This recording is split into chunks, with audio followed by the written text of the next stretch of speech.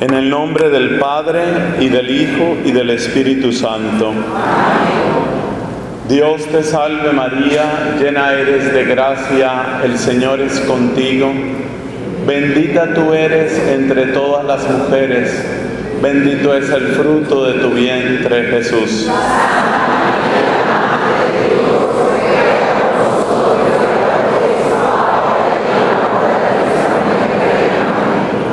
Nombre del Padre y del Hijo y del Espíritu Santo. Amén. Mis amigos, siéntense por favor.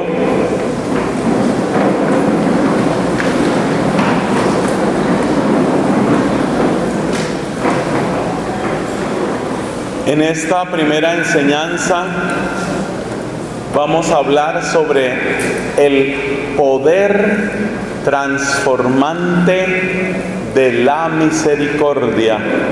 Ese es el título de esta enseñanza, el poder transformante de la misericordia. Eso es lo que deseamos compartir. Nos ha dicho el Papa Francisco que el nombre de Dios es misericordia nos ha dicho el Papa Francisco que Jesucristo es el rostro mismo de la misericordia divina. Es necesario que descubramos el poder transformante de la misericordia. Eso es lo que deseamos compartir. Para entender cómo nos transforma la misericordia, tenemos que tener un punto de contraste. Fíjese que en los gimnasios, por ejemplo, para hacerle propaganda al gimnasio, te presentan la foto de antes y después. Entonces, antes era una persona seguramente con un sobrepeso, era una persona con una salud deficiente. Después de unos meses de estar en el gimnasio, mira qué hermosura de cuerpo, ha recuperado su salud antes y después. Y así con muchos otros productos, siempre nos muestran el antes y el después. Quien te quiere vender una crema para las manchas en la piel o para disminuir los efectos de una cicatriz, de inmediato sacan fotos. Antes, aquí está la persona que era pues más bien fea con su cicatriz, luego la misma persona sigue siendo fea pero ya sin la cicatriz, porque no le operaron la feura, ¿cierto? Pero la cicatriz desapareció. Antes y después. Nosotros en esta enseñanza vamos a seguir también esa metodología. Antes y después. Es decir, cómo es la vida humana, cómo es la pareja, cómo es la familia, ¿Cómo es la sociedad? Cuatro. La persona, la pareja, la familia y la sociedad. Antes. Y luego, ¿cómo es la persona? ¿Cómo es la pareja? ¿Cómo es la familia? ¿Y cómo es la sociedad después? Por supuesto, nuestro propósito es descubrir el poder transformante de la misericordia con el deseo de salir del antes y poder llegar al después. Eso es lo que queremos. Ese es nuestro propósito. Aquí hay que entender algo que es muy importante, algo que Jesús sugiere varias veces en el Evangelio.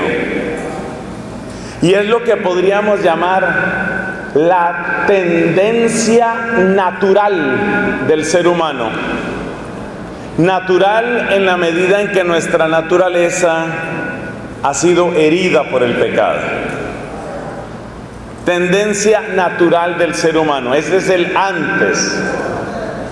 ¿Cómo es el ser humano en su tendencia natural? Y lo que descubrimos es que en su tendencia natural el ser humano se parece mucho a los animalitos. ¿En qué sentido? En que la mayor parte de los animales reflejan la manera como tú los tratas. De manera que si tratas con cariño a un perrito, el perrito te devuelve ese cariño. Eso quiere decir que así como me traten, así yo trato. Eso se llama la tendencia natural del ser humano. Como me traten, yo trato. La mayor parte de nosotros tenemos personas que son nuestros amigos. Un amigo es una persona que seguramente simpatiza conmigo y yo con él. Nos gusta compartir tiempo, tenemos aficiones en común. Yo quiero que mi amigo me acompañe en ciertos momentos.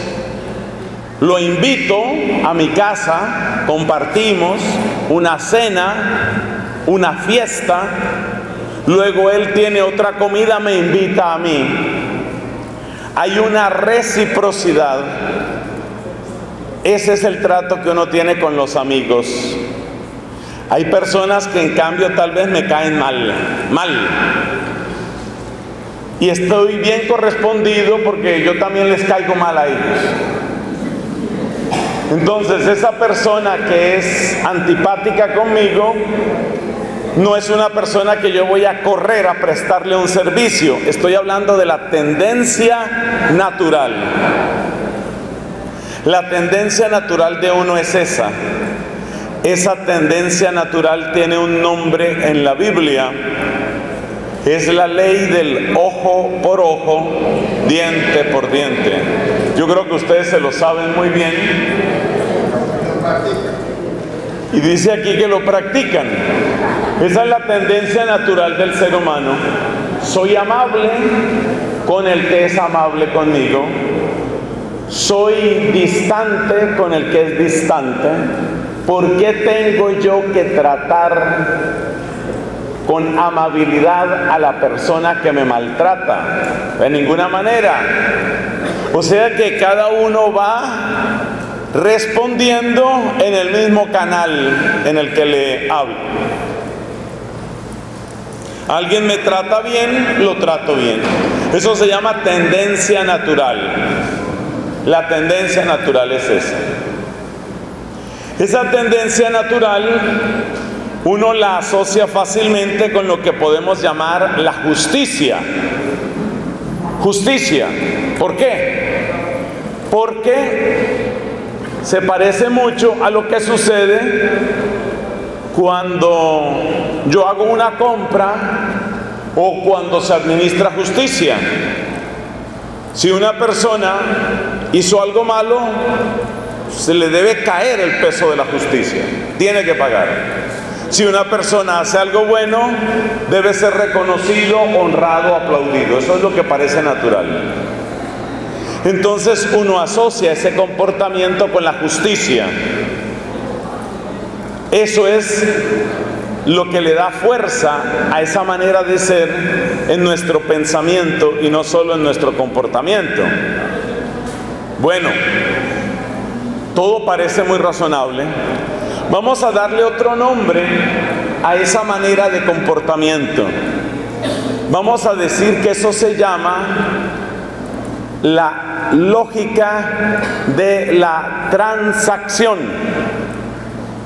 ¿Qué es una transacción? Es un intercambio. Así, por ejemplo, yo le doy a usted dinero porque usted va a pintar mi casa. Usted recibe un bien que es el dinero y yo recibo un bien que es que ahora mi casa ha quedado mucho más bonita. Eso se llama lógica de la transacción. La lógica de la transacción la aplicamos entonces en nuestro trato con las personas. Quiere decir que a quien me trata bien yo le pago tratándolo bien. Y a quien me trata mal, yo le pago tratándolo mal. Eso es lógica de la transacción. Da la impresión de que así vamos a tener una sociedad justa.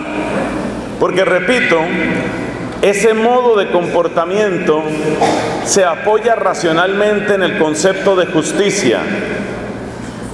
Lógica de la transacción, modo natural de comportamiento, ahí está, ahí queda claro.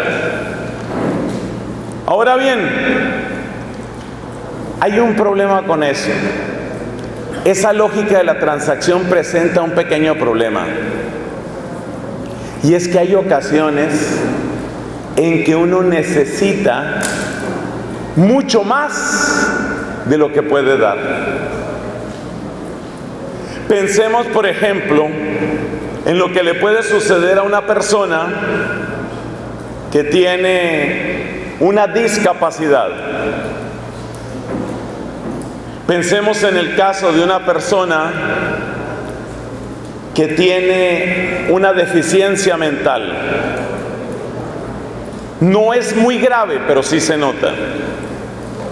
Es una persona que tiene una gran necesidad, necesita recibir mucho y de acuerdo con ciertas escalas no puede dar tanto. O piensa en una persona que tiene una parálisis o que tiene los efectos de una enfermedad como el polio. Esta persona necesita mucho y no puede dar tanto. Si le vamos a aplicar la lógica de la transacción a esa persona, entonces esa persona tendría que recibir muy poquito porque puede dar poquito. En mi familia yo tuve, falleció, así lo dispuso el Señor, yo tuve un sobrino con una condición que se llama autismo y que muchos de ustedes conocen. Este sobrino era una persona que tenía, por supuesto, limitaciones fuertes por su autismo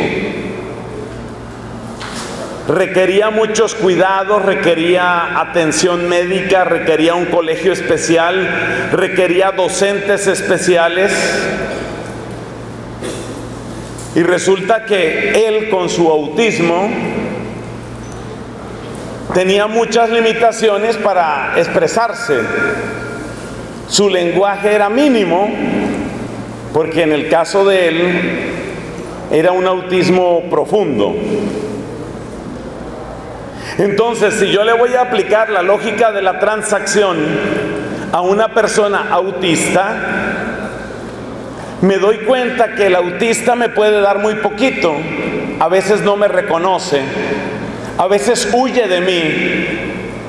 Muchos de estos hombres y mujeres con autismo tienen un comportamiento asustadizo. Entonces uno empieza a sentir que la lógica de la transacción no resuelve todos los problemas, porque hay ocasiones en que una persona puede tener grandes necesidades y no puede dar tanto. O tal vez esa persona dio mucho en una época y ya después no. Sigo contando cosas de mi familia que estoy seguro que se dan en muchos otros lugares. Mi abuela materna, costeña, por eso mi aspecto, yo soy de papás costeños de Barranquilla, nacido en Bogotá, pero soy de familia costeña. Mi abuela materna, mujer costeña, maestra de escuela, mujer generosa, alegre, inteligente, le hizo bien a muchísima, muchísima gente, como lo, como lo hacen los maestros. Porque para mí los verdaderos héroes en un país son sobre todo los maestros, que son los que forman las nuevas generaciones, los que nos han formado a todos.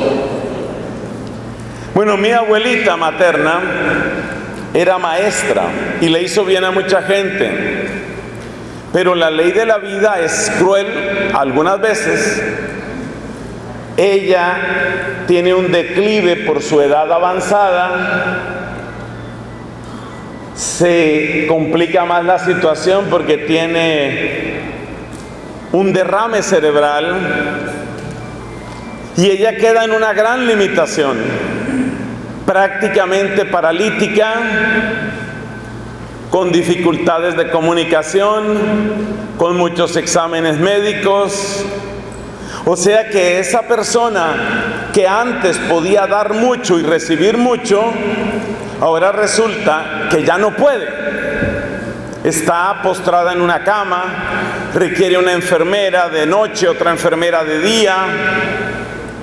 Si le vamos a aplicar la lógica de la transacción a esa mujer, la conclusión sería que se muera. Esa es la conclusión que se aplica en una práctica que se llama eutanasia. La eutanasia es la aplicación estricta de la lógica de la transacción a una persona que ha dejado de ser útil, una persona que se mira como un estorbo para la sociedad. Esa visión de la sociedad que la ve como un estorbo, la persona la introyecta y por eso empieza a desear morirse. La gran mayoría de los casos de eutanasia provienen precisamente de esa triste realidad. En países como Bélgica se da la situación de enfermos muy graves que reciben, por supuesto, atención médica de alta calidad, pero con alguna frecuencia el médico le pregunta a la persona si no ha pensado en la eutanasia. Imagínate estás solo, enfermo, anciano, tirado en una cama y el médico te pregunta cada dos días si no has pensado en la eutanasia. La gente termina suicidándose. O sea que la lógica de la transacción funciona bien mientras uno tiene con qué. Mientras uno tiene juventud, mientras uno tiene fuerza, tiene inteligencia, tiene belleza, tiene simpatía, tiene amigos, tiene dinero, tiene poder. Mientras tengas con qué, la lógica de la transacción funciona de maravilla. Si tienes con qué. Pero si resulta que llega el accidente, llega la enfermedad, llega la soledad, llega un fracaso económico, te equivocaste en una inversión que hiciste, en ese momento la lógica de la transacción, que es el ritmo al que nos lleva nuestra naturaleza humana herida por el pecado, te deja en el abandono más absoluto.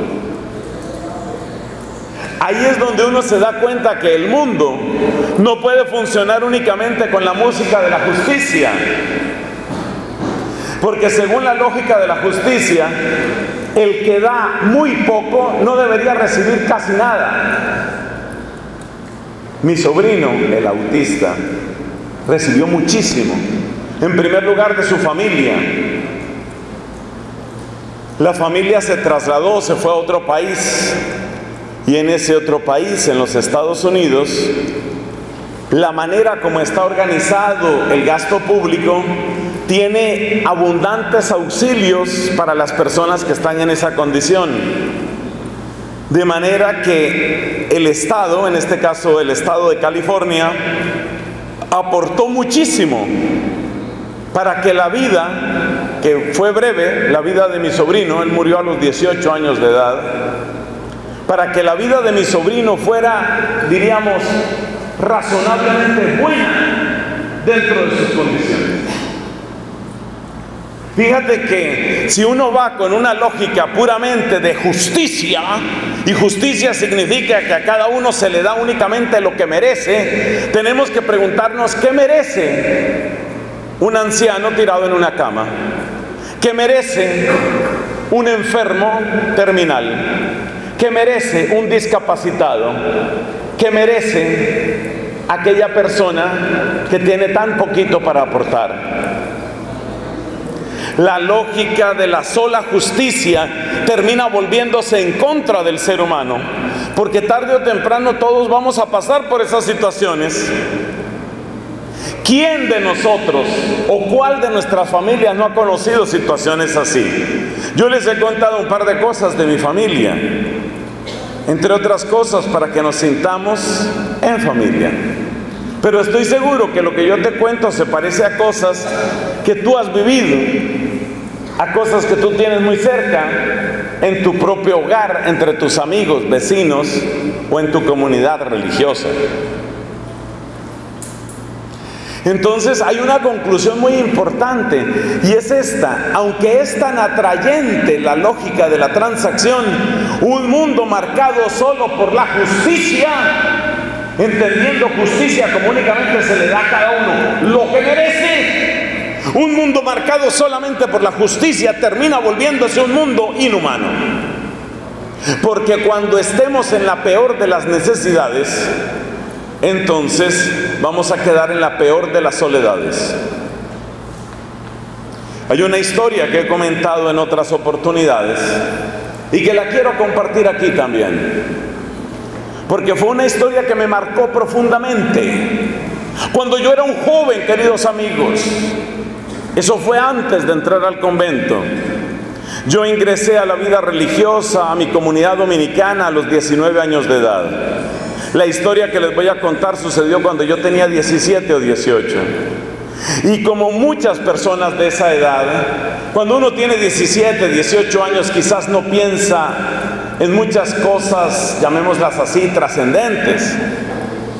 Es verdad que a uno le gusta estar con amigos, pero a uno le gusta estar con sus amigos. Los que le caen bien a uno, los que le gustan a uno, con los que uno se siente bien.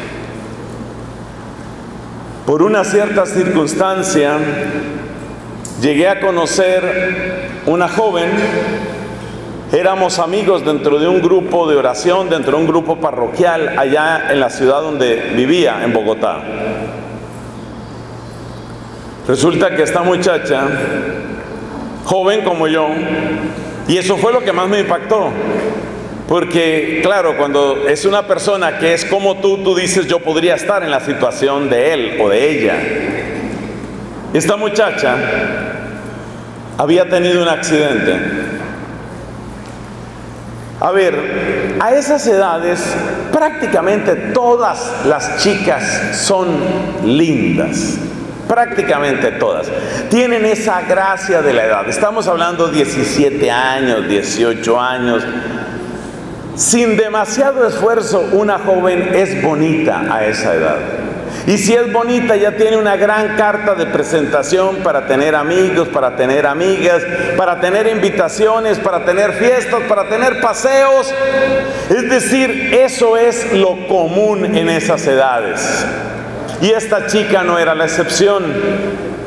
Ella debía tener, repito, como esa edad, y por consiguiente tenía la belleza propia de la juventud y por consiguiente tenía las invitaciones. Es decir, para ella lo difícil era encontrar un fin de semana en el que no hubiera un programa, algo que hacer. Eso es lo propio de esa edad.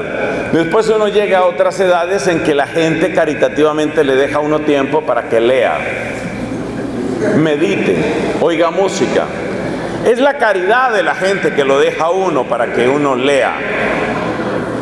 Pero a los 17, 18 años, si eres una jovencita, si eres bonita, lo difícil es encontrar un fin de semana así. El mundo es cruel y no te dejan tiempo para leer. Esta muchacha tuvo un accidente. Como fruto de ese accidente, una larguísima recuperación una cosa complicada. Los detalles no los recuerdo exactamente, pero era un problema en sus piernas. tuvieron que ponerle una cantidad de tornillos y de placas y cada tornillo y cada placa es una operación y cada operación es una larga recuperación y luego se le infectó una herida. El resumen es que esta mujer tuvo que pasar muchos meses en una situación que no era la que ella conocía. Porque la vida para ella era más o menos divertida pasarla bien, estar con los amigos. No vamos a decir que era una muchacha pervertida ni perversa, no, una joven normal, alegre, pero que tuvo esta circunstancia, que tuvo este accidente en una ocasión con su familia y realmente sus piernas quedaron en pésima condición y estaba en una recuperación larguísima. Hasta donde me acuerdo la recuperación fue algo así como de un año, pero ese año le cambió completamente la vida a ella y en ese año yo la conocí. Porque ella se empezó a dar cuenta de esto, que cuando ella estaba en su buena salud, con su piel hermosa, con sus piernas bonitas, con su sonrisa simpática, pues ella era muy cotizada, ¿cierto? Muy cotizada para ven, acompáñanos a una fiesta, ven, vamos para un paseo. Digamos, es lo que siempre sucede. Esa clase de personas siempre tiene muchos que le inviten. Pero ¿qué pasó? Que en el momento en el que esta muchacha está en su proceso de recuperación, entonces ya no puede ir a los paseos, ya no puede ir a las fiestas, ya está confinada a una cama, ya sus temas de conversación son, ahora tengo radiografía, ahora tengo no sé qué, ahora tengo que ir a control donde el médico, siempre estaba metida en asuntos con su salud. Y esa es una conversación muy aburrida para los amigos que ella tenía en esa época, porque la conversación que quieren tener muchos jóvenes en esa época es cuál es el siguiente programa, es decir, qué hicimos antes y qué vamos a hacer ahora. Y eso que en esa época no existían los selfies ni existían los smartphones, no había teléfonos inteligentes, no había redes sociales, pero al fin y al cabo la gente se las arreglaba para eso, las fotos, los recuerdos, las anécdotas. Ese es el tema del que les encantaba hablar en ese tiempo. Pero resulta que los que van a visitar a esta muchacha, vamos a suponer aquí un nombre, un nombre por supuesto cambiado, vamos a llamarla por ejemplo Adriana, entonces resulta que visitar a Adriana era, bueno, ¿y ahora qué pasó con el tornillo que te pusieron? ¿Y que cómo te salió la placa de no sé qué? ¿Qué control te pudieron hacer de tal infección que tenías? Eh, ¿Qué te han dicho de la recuperación del líquido de la rodilla? Esos temas son muy aburridos. Entonces los amigos que hicieron empezar a alejarse. Porque esos temas son aburridos. Es decir, el grupito de amigos y amigas de ella, al principio, cuando ella recién tuvo el accidente, estaban cercanos y, oh, pero ¿cómo así? ¿Qué te pasó? Espérate, sí. Eso la primera semana. La segunda semana menos. Un mes después menos. Más o menos en la época en que yo traté a esta joven un poco más de cerca, Nadie iba por allá. Era demasiado aburrido.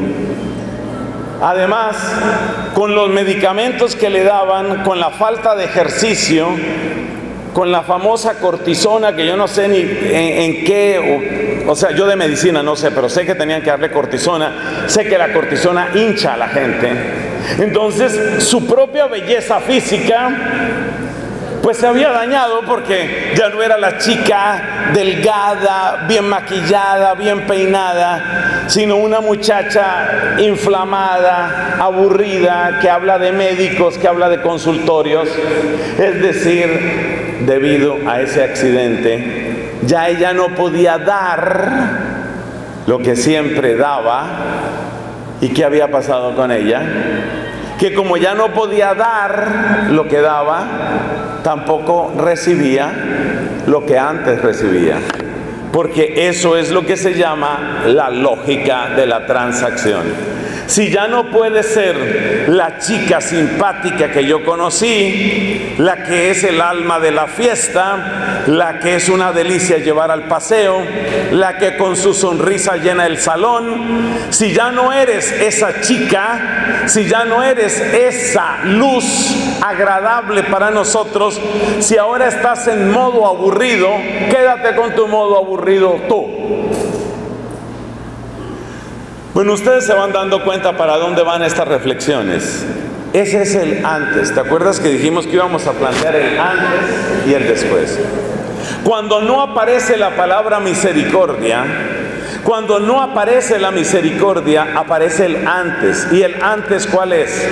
Que yo te sirvo mientras me conviene. Que yo estoy contigo mientras saco algo de ti que mientras tú me gustes, entonces cuentas conmigo. Pero cuando me dejes de gustar, cuando me dejes de servir, cuando yo deje de sacar algo de ti, entonces se acabó tu presencia en mi vida. Ese es el antes. El antes es la lógica de la conveniencia, es el individualismo, es el egoísmo. Finalmente, el antes, ¿cuál es? El antes es mientras los dos podamos sacar provecho el uno del otro, perfecto. Y cuando ya no se pueda, se acabó. ¿Te acuerdas que dijimos que queríamos estudiar el antes en cuatro fotos? Las cuatro fotos son la persona, la pareja, la familia y la sociedad. Y ya nos damos cuenta cómo se vuelve la persona. Ya nos damos cuenta cómo se vuelve la persona cuando está dominada por la lógica de la transacción. La persona dominada por la lógica de la transacción solamente mira por sus intereses. Solo le interesa lo suyo, lo que a mí me sirve, lo que a mí me conviene, lo que a mí me gusta no más.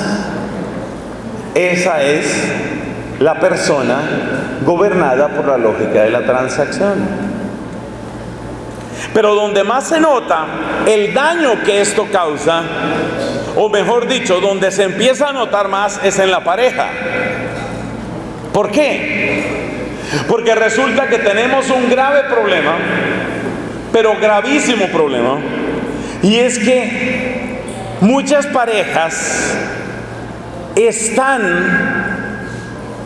creciendo, avanzando, caminando con esta lógica. Y para mí esa es la receta de un desastre. ¿Por qué?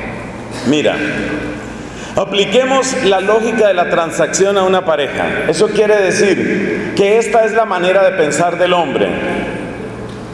Tengo a mi lado una mujer hermosa, me gusta, la deseo, es buena compañía, es inteligente, es divertida, tiene un buen trabajo,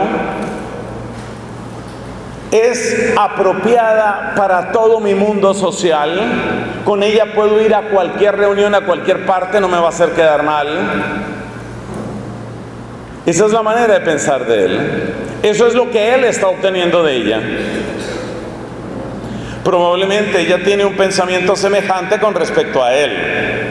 Entonces ella está pensando, este es un hombre que me dedica tiempo, tiene sus metas claras, evidentemente es un tipo exitoso, va a lograr lo que se proponga, tiene buenos ingresos, no le queda nada mal ese carro nuevo que ha conseguido, He podido comprobar que tiene varias tarjetas de crédito con amplio cupo. Me gusta, lo disfruto. Muchísimas parejas tristemente desoyen la voz de Dios y de la iglesia y entonces entran en toda una carrera sexual. Y entonces así como él piensa me gusta y la disfruto, ella también piensa me gusta y tenemos buen sexo con este tipo. Está bien. El hombre responde, muy bien, esa pareja, si tú los ves por la calle, si tú los ves en el centro comercial, si tú los invitas a una fiesta, son una maravilla, una maravilla. Mira, se sonríen cada uno, habla bien del otro, se abrazan, se quieren, son tiernos, se acompañan. Tú dices, el amor existe, qué pareja extraordinaria. Y resulta que cada uno está siendo gobernado por la lógica de la transacción. Es decir, cada uno tiene esa bonita cara y tiene esa esplendorosa sonrisa. ¿Por qué? Porque está recibiendo, está recibiendo lo que quiere recibir. Por eso, por eso precisamente, por eso, ellos tienen una buena relación. Su buena relación depende de lo que cada uno está recibiendo. Y hay una pregunta que como sacerdote yo me hago y que me hace estremecer. Esa pregunta es, ¿y si por alguna circunstancia ese hombre deja de recibir lo que está tan feliz recibiendo, ¿qué va a pasar con esa relación de pareja? ¿Ves? ¿Te das cuenta lo que sucede cuando falta un elemento tan importante? Es decir, cuando únicamente nos gobernamos con la lógica de la transacción, cuando únicamente estamos guiados por nuestra naturaleza herida por el pecado, y la naturaleza herida por el pecado es me conviene, me gusta, obtengo lo que quiero, es la persona para mí. Y te aseguro que yo como sacerdote, si entrevisto a esa pareja porque me dicen que se quieren casar, te aseguro que los veo súper enamorados. Y te aseguro que si le pregunto a ese hombre, él me dice, esa es la mujer de mi vida. Pero él dice eso porque está pensando solamente en lo que está recibiendo. Y ella seguramente dice, no hay otro como él. Pero ella también dice esas palabras que parecen palabras de amor porque ella está recibiendo lo que a ella le gusta recibir. Entonces uno se hace una pregunta como sacerdote y cualquier otra persona podría hacérsela. ¿Realmente esa pareja tiene garantías de solidez hacia el futuro? Y lo que uno siente es no. No. ¿Por qué? Porque lo que está basado en la lógica de la transacción está basado en un equilibrio inestable, como dirían los físicos.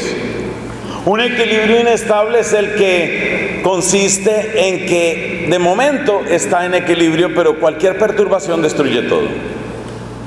El ejemplo típico es cuando tú logras acomodar una esfera en la cúspide de una montañita Tú tienes una montaña y tú pones ahí una esferita con mucho cuidado.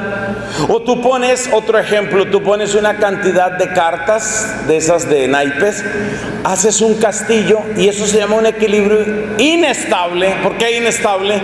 Porque cualquier... y se cae todo. Entonces, han pasado por nuestros despachos parroquiales y han pasado delante de nuestros ojos muchas parejas que eran extraordinarias. Ay, qué lindo que es eso.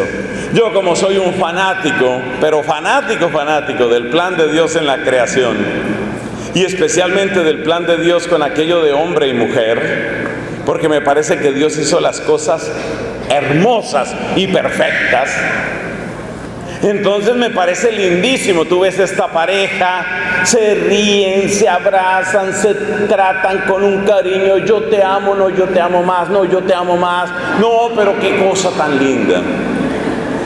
Es decir, es una relación no apta para diabéticos.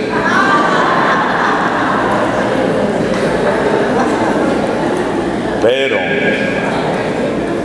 ese equilibrio inestable, como la pelotita que está en la cumbre de una montaña. Ahí, ahí, ahí quedó, ahí quedó, ahí quedó. No sé qué está cayendo.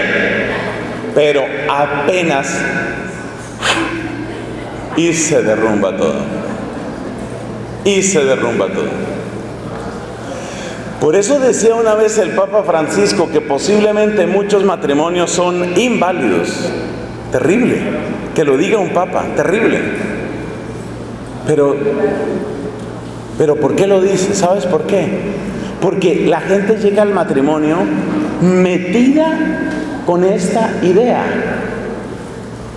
Ahora que veo aquí mis hermanas, mis queridas religiosas, no me miren así. Porque a los conventos pasa lo mismo. En los seminarios pasa lo mismo. También hay personas que llegan al convento, entonces es la hermana piadosa, pero es la hermana que está pensando que todas las hermanas son unos angelitos, todos o todas según el caso, todas son hermosas, todas son piadosas, todas son fraternas, todas son alegres, todas son pero ese equilibrio también es inestable. No estoy hablando de gente ilusa, no estoy hablando de eso. Mi tema central no es que la gente sea ilusa, mi tema central es que si nuestra única versión de amor es un amor de intercambio, es decir, cuánto recibo de ti para saber cuánto te tengo que dar, eso no va a funcionar. Eso no va a funcionar. Y efectivamente no funciona.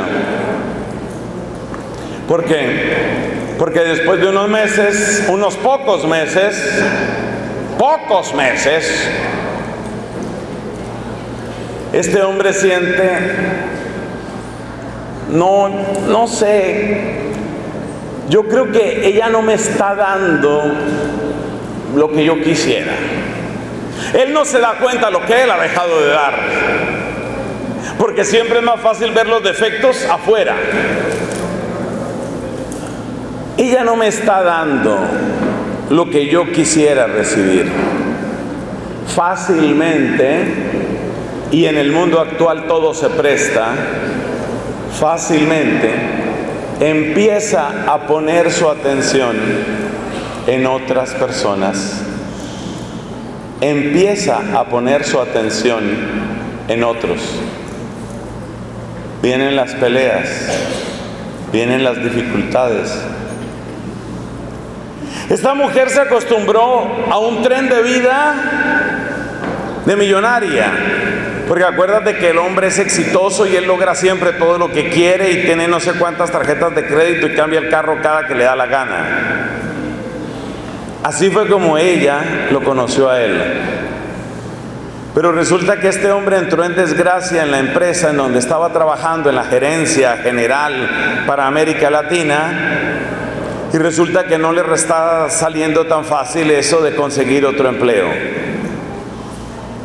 Mientras tanto, ellos se han metido en unas deudas espantosas porque el mundo actual está diseñado para que uno se endeude. Por eso prácticamente uno saluda en el centro comercial y le dice, mira, aquí le tenemos esta tarjeta de crédito con crédito preaprobado. Todos consideran importantísimo que uno se endeude. Así que esta parejita se ha endeudado de una manera bárbara.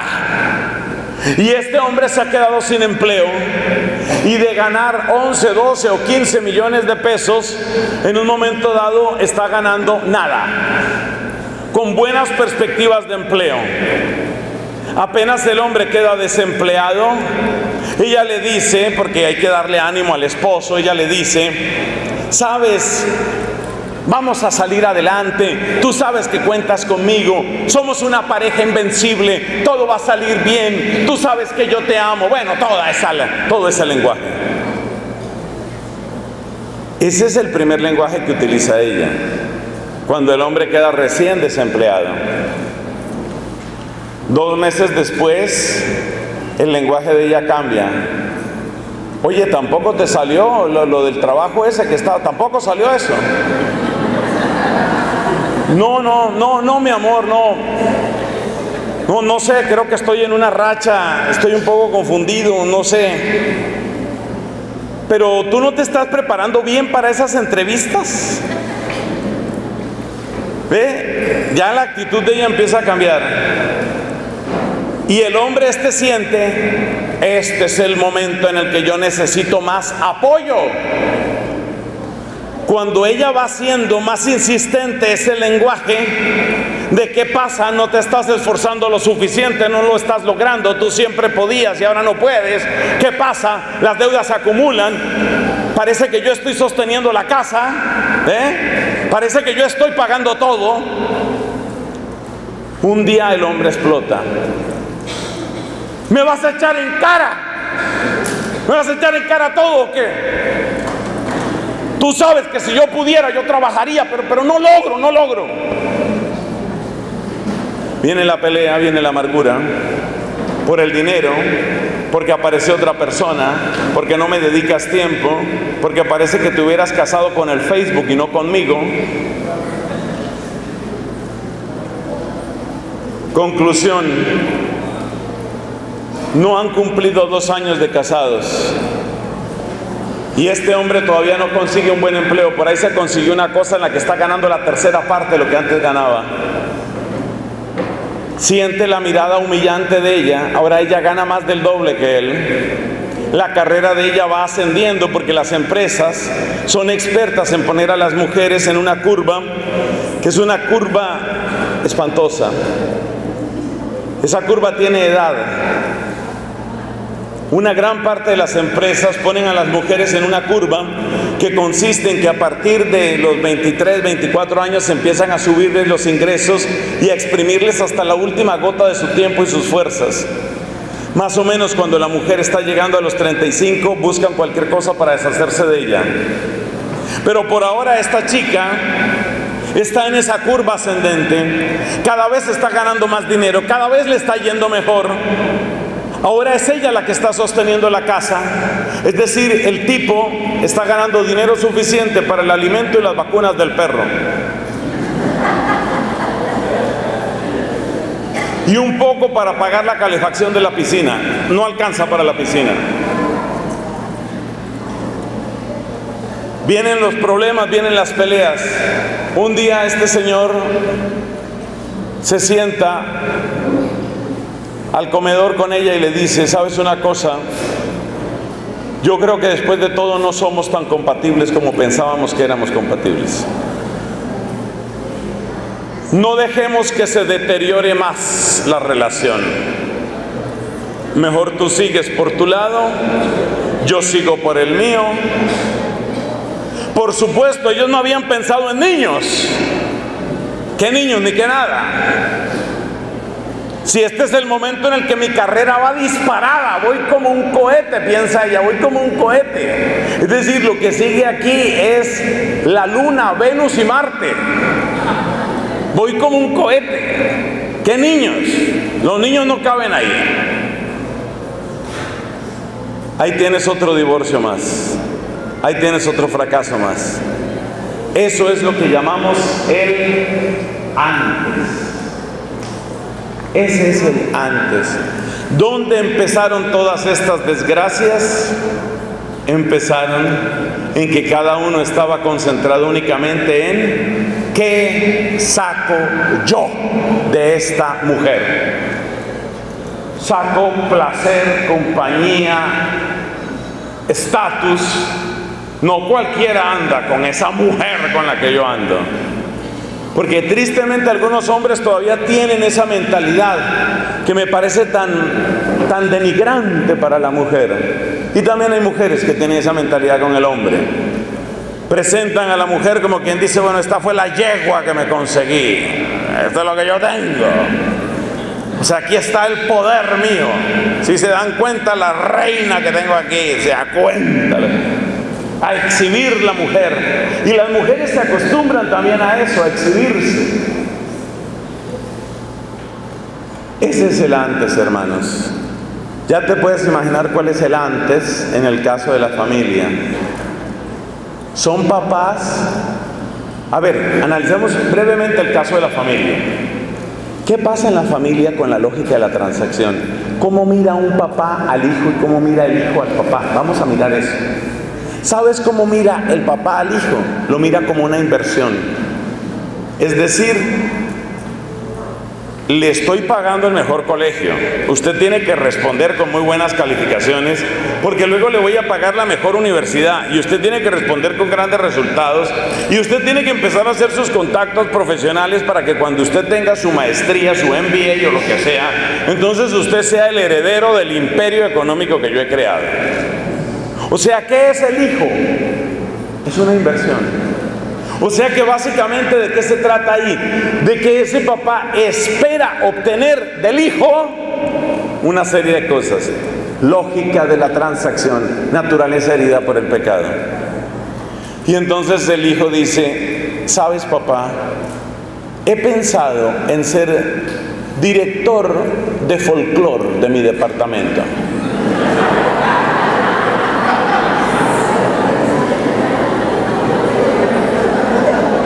Y el papá sufre una cosa que se llama médicamente descolgamiento mandibular.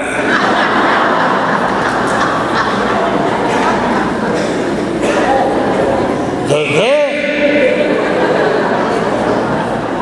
Papá, lo mío siempre ha sido el ballet folclórico, siempre, tú lo sabes el papá se monta en una ira espantosa como se le ocurre. Lo lleve a un colegio que se aprende en tres idiomas para que ahora usted me venga con que las costumbres de los guayú. No lo entiende. No lo entiende. Y si el hijo le dijera, papá, quiero ser sacerdote, quiero ser misionero, descolgamiento mandibular.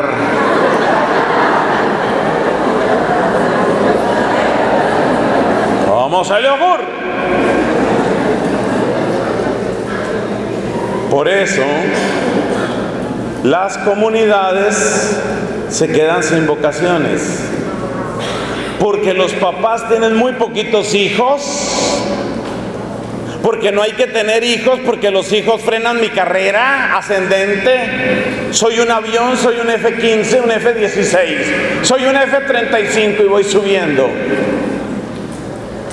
Tienen muy poquitos hijos y los poquitos hijos que tienen los miran como una qué? Inversión. Y el hijo cómo mira al papá? Mira al papá como un cajero automático. Un cajero maravilloso que no, no necesita ni siquiera de tarjeta. Esa es la manera, esa es la manera como se presenta la relación familiar. Y ya de ahí puedes entender que se vuelve la sociedad. ¿A qué llega una persona que está con esas ideas? ¿A qué llega un cargo público? A sacar lo suyo, lo mío. Otros robaron, llegó mi turno, ahora me toca a mí. Esa es la lógica de la transacción. Pasemos, pasemos a la parte de la misericordia. ¿Cuáles son las transformaciones que trae la misericordia? Vamos a mirarlas brevemente. Primero, el primer descubrimiento es este. Todos necesitamos alguna vez en la vida misericordia. Ahora que estás bonito, con plata, con amigos, Ahora que estás así, ¿tú crees que me estás haciendo un favor oyéndome este discurso? Después de que el médico te diga, lo suyo es cáncer y es agresivo. Esa frase te cambia totalmente. Porque esa frase lo que revela es, no soy tan fuerte no soy tan rico, no tengo tanto para mis transacciones. Todos necesitamos y sobre todo necesitaremos misericordia. ¿Qué es la misericordia? La misericordia es el amor que se abaja, que se agacha. Es el amor que atiende la necesidad del otro. Y antes de pensar que en el curso de este congreso lo comentaremos en su momento, antes de pensar en que nosotros hemos de ser testigos de misericordia, allá llegaremos, de eso se trata. Antes de llegar allá, lo primero es descubrirse uno necesitado de misericordia. ¿Qué va a quedar de mí después de un accidente? ¿Qué va a quedar de mí después de un fracaso económico? ¿Qué va a quedar de mí después de un fracaso matrimonial? ¿Qué va a quedar de mí? El mundo no tiene esas respuestas. La única respuesta del mundo es eutanasia, suicidio asistido, adicción. esas son las respuestas del mundo. Por eso a nivel personal, lo primero es descubrir, yo necesito y necesitaré misericordia. Por mi salud, por mi dinero, por mis incoherencias, por mis errores. En la Iglesia Católica hablamos claramente por mis pecados. Yo necesitaré misericordia. Y las cosas cambian a partir de ahí. Porque desde el momento en el que yo empiezo a reconocer que yo necesitaré misericordia, desde ese preciso instante empiezo a entender también que la persona que tengo a mi lado es otro ser humano que también necesita y que también necesitará misericordia. O sea que la conciencia de la necesidad de la misericordia derriba, destroza, fractura al enemigo fundamental que tenemos desde el punto de vista de nuestra fe y de lo que es el ser humano. Y ese enemigo se llama la soberbia. En el día en el que tú dices, yo necesito y necesitaré misericordia, ese día tú estás golpeando a tu peor enemigo y lo estás derribando. Y ese peor enemigo se llama la soberbia. El día que tú llegas a decir, esa es la frase con la que terminaremos esta reflexión, el día que tú llegas a decir, yo necesito y necesitaré misericordia, ese día te estás haciendo el gran favor, hermano, porque ese día estás fracturando a tu peor enemigo que se llama la suerte. ¿Por qué se dañan la mayor parte de los matrimonios? Mira, la inmensa mayoría de los matrimonios, te lo dice una persona que lleva cerca de 25 años en la vida sacerdotal y que ha atendido no sé cuántas parejas. La inmensa, inmensa, inmensa mayoría de los matrimonios se pueden salvar. Óyemelo bien, la inmensa mayoría de los matrimonios se pueden salvar. ¿Qué es lo que impide? La soberbia. Es la soberbia. Es, la necesidad de, de, que quede claro que el otro es el culpable o por lo menos es mucho más culpable que yo. Es esa necesidad, es ese reclamo implacable. Eso es lo que destruye los matrimonios. Entonces se necesita, ¿cuál es el punto de partida? La frase con la que vamos a cerrar esta reflexión. Yo necesito y necesitaré misericordia. Esa es la frase. Y esa es la frase que hace que yo mire, refiriéndose al caso de la persona que tiene pareja, esa es la frase que hace que yo mire a esa persona que va a acompañar mi vida la mire con todas las cualidades que tiene como regalos preciosos mientras duren. Pero al mismo tiempo, esa es la frase que me permite decir, y si un día ella necesitara de mí, y si un día él necesitara de mí, quiero estar ahí presente. Ya que les he contado algunas cosas de mi familia, Permítame que cuente una más. En el año 2010, hace seis años, se le presenta una situación muy extraña a mi madre. No podía conservar el equilibrio, no podía hablar coherentemente no podía moverse organizadamente, evidentemente algo estaba pasando en su cerebro. Le hacen unos exámenes, al principio se pensó que era un problema de oxigenación, resultó que había un problema de obstrucción del líquido que tenemos en el cerebro y la médula, el líquido cefalorraquídeo. Tenía una obstrucción y una acumulación brutal de presión del líquido cefalorraquídeo en el cráneo. Era tan grande la presión que tenía en la cabeza que por esa misma presión la sangre no circulaba bien y por eso parecía que estaba oxigenando mal. Una vez que se descubre eso, buscan la causa de la obstrucción del líquido y descubren que mi mamá tiene un tumor. El examen detallado de ese tumor llevó a una conclusión que todavía hoy, seis años después, me parece absolutamente sorprendente. Resulta que el tumor de mi mamá era un tumor congénito. Ella creció, ella vivió 78 años con un tumor que crecía a una velocidad extraordinariamente lenta, nunca se había detectado y cuando se detectó había causado un daño terrible. Lo único que se podía hacer era tratar de operar ese tumor. Entonces, pues hay que reunir a la familia, hay que preguntarles si ustedes están de acuerdo con que se haga esto, es una operación de muy alto riesgo. El médico nos dice las cosas de una manera muy clara, nos explica lo que está pasando y nos explica qué sucedería si no se hace la operación. El panorama era catastrófico. Conclusión, se hace la operación, resumiendo, mi mamá nunca se recupera de esa operación. Eso significa que mi mamá después de esa operación permanece en un estado casi vegetativo, cerca de unos dos meses, cerca de unos tres meses. Durante esos dos o tres meses ella, no estamos seguros de si entendía, parece que sí. Durante todo ese tiempo apenas dijo una o dos frases inteligibles que parece que salieron de no sé qué parte de su cerebro que seguía viva. Al lado de ella, estamos hablando de una mujer de 78 años, como la habían operado del cerebro, pues habían tenido que quitarle todo su cabello.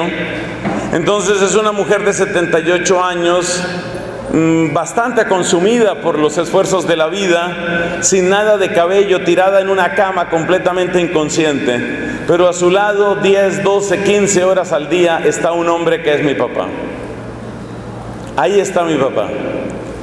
Ahí está mi padre, cuidándola, hablándole, haciendo oración con ella, ayudando para darle la vuelta a la cama, porque obviamente una persona si está mucho tiempo en una cama empieza a presentar una serie de llagas. Entonces, eh, ahí está mi papá. Es de los recuerdos más bellos que yo tengo de mi madre y de mi padre y del amor de ellos. Este hombre está ahí. Finalmente las cosas se complican, suele suceder, paro cardiorrespiratorio y mi mamá muere. Eso sucedió hace algo más de seis años. Pero esta historia la estoy contando porque para mí es uno de los testimonios más cercanos de gente que sí se ama. Yo conozco, por supuesto, fotos del matrimonio de mi madre. Mi mamá, una morena hermosa, muy delgada, cadera más bien generosa, sonrisa bella, mirada profunda y brillante, enamoró con su sola presencia a mi padre. Evidentemente mi papá se gozó en la belleza, en la ternura, en la cercanía, en la dulzura de mi mamá y también en esa en ese don que ella tenía de su belleza corporal. Pero el corazón de mi papá no estaba únicamente en el cuerpo de ella. O sea, mi papá se tomó en serio lo que se dice en el matrimonio. ¿Estás dispuesto a amar en la salud y en la enfermedad? En la riqueza y en la pobreza. Él se tomó en serio eso, él tomó en serio eso. Y ella también. Yo los vi superar muchas dificultades. Esa es la diferencia que hace la misericordia en una pareja. No es que mi papá no tuviera ojos para las caderas o la sonrisa o el busto de mi madre. Por supuesto que él tenía ojos y como hombre le gustaba a ella. Por supuesto. Pero no se quedó ahí. ¿Qué es lo que hace la misericordia? Hace que no te quedes en el beneficio, hace que no te quedes en lo que puedes sacar, en lo que puedes ganar. En esos dos meses en que mi papá estaba al lado del lecho de muerte, finalmente fue el lecho de muerte de mi mamá, mi papá estaba sacando muy, muy poco provecho. Mi mamá, mi mamá estaba feíta, muy feíta, tirada en esa cama, muy fea, humanamente hablando. Mi papá estaba sacando muy poco de esa enferma que ni siquiera le respondía el saludo, muy poco, muy, muy poco. Pero el amor de él estaba intacto. Y ahora tú me entiendes por qué solo la misericordia salvará al mundo. Si no logramos que las parejas se amen con ese amor, ¿qué va a pasar con el mundo? Si no logramos que los papás, como les conté de mi hermano con su hijo autista, si no logramos que los papás amen a sus hijos, aunque esos hijos ni siquiera puedan hablar bien, ¿qué le va a pasar al mundo? Solo la misericordia salvará a las parejas.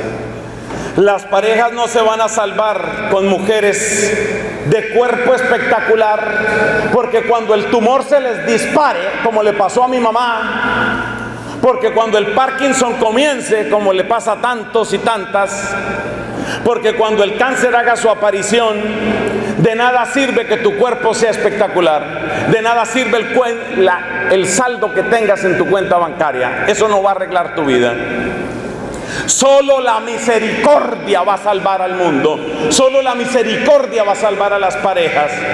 Y por eso es muy importante que los novios, las novias, los esposos, las esposas, los papás y los hijos, todos, todos nos preguntemos si estamos o no estamos aprendiendo a amar con misericordia. Y yo les digo una cosa, especialmente a los que tienen su novio o su novia, no se pregunten si esa persona es amable, sonriente, dulce con ustedes. ¿Por qué? Porque si tú eres joven, ya dijimos cómo son los jóvenes. Tienen la piel bonita, tienen el cuerpo bonito, tienen la sonrisa bonita, todo es bonito. Es fácil quererte ahora. Tienes que preguntarte, ¿este hombre qué haría conmigo si un día me aparece un tumor? Esa es la pregunta que hay que hacer. Porque es que amar a la mujer sin tumor es fácil. Amar a la mujer con tumor, esa fue mi madre, eso es lo difícil.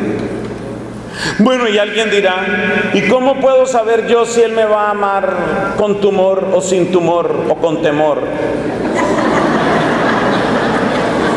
¿Cómo puedo saber yo si él me va a amar? Respuesta. ¿Sabes cómo se puede saber? Y este consejo lo doy en todas partes, sobre todo en los congresos de jóvenes.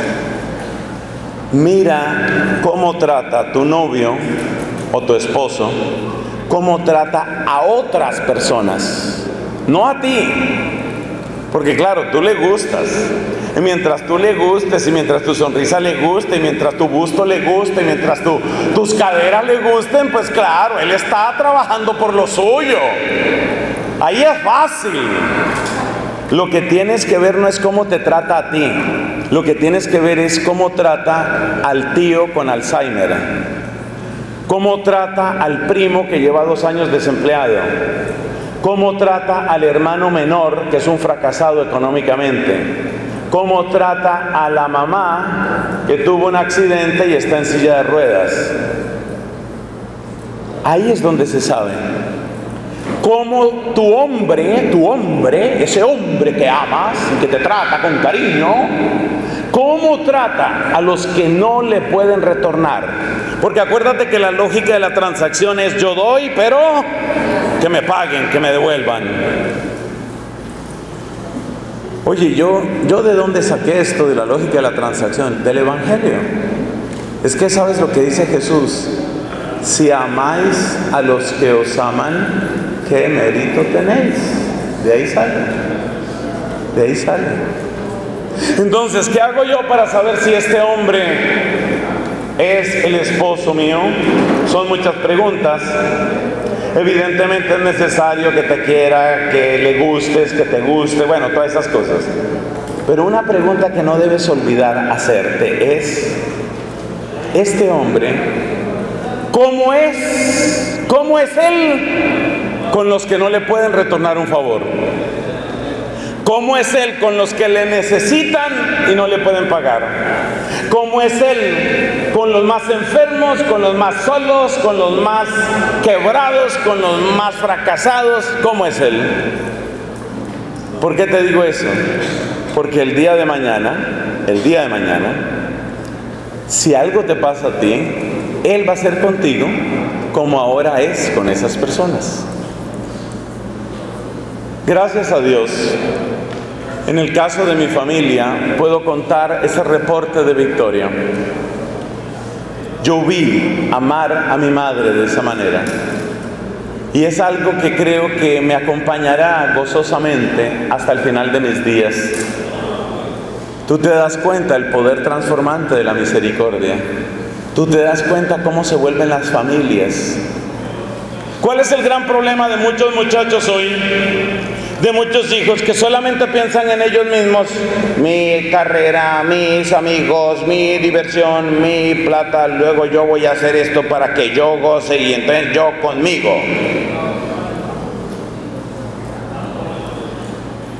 ¿Qué tal hijos que entren en la escuela de la misericordia? ¿Qué tal hijos que empiecen a entender, para mi mamá no debe ser fácil? El día que un hijo, el día que una hija dice esa frase, empieza a ser mucho mejor hijo. Para mi papá no debió ser fácil, para mi mamá esto no debe ser tan fácil. Es decir, sal de ti y empieza a comprender la necesidad del otro. Eso salvará al mundo. Hermanos, frase importante de hoy, yo necesito y necesitaré misericordia. ¿Cómo es? Yo necesito y necesitaré misericordia. Creo que solo las mujeres necesitan misericordia, los hombres siguen callados. Mala idea. Todos necesitamos. A ver, solo los hombres. Los hombres, recuerde la frase, yo necesito y necesitaré misericordia. Solo los hombres, ¿cómo es?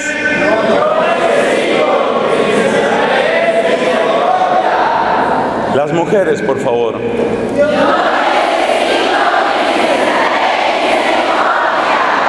Por último, todos, yo necesito